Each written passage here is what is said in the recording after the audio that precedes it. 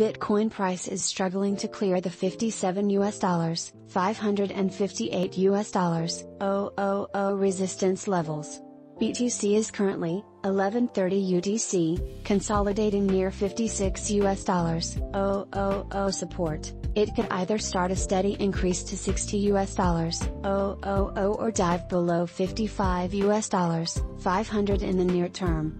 Besides, most major altcoins are struggling to start a recovery wave. ETH is trading well below 4 US dollars, 250, but it is steady above 4 US dollars, 120. XRP is trending lower towards the 1 US dollar 00 level. ADA must stay above 1 US dollar 70 to start an upside correction. Recently, Bitcoin price saw bearish moves below the 57 US dollars 500 level. However, BTC stayed above the key 55 US dollars 500 support level. An immediate support is now near 55 US dollars 800. The first major support is near 55 US dollars 500, below which the bears might gain strength.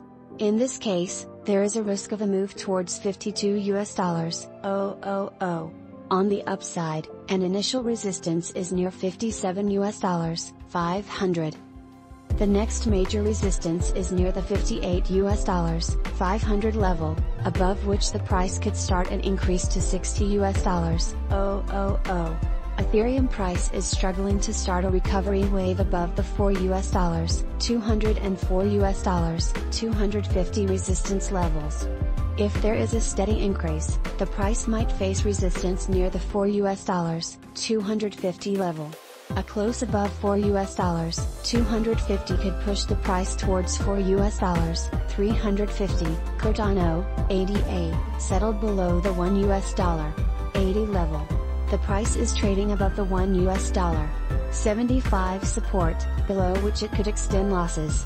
The next major support is at 1 US dollar 60.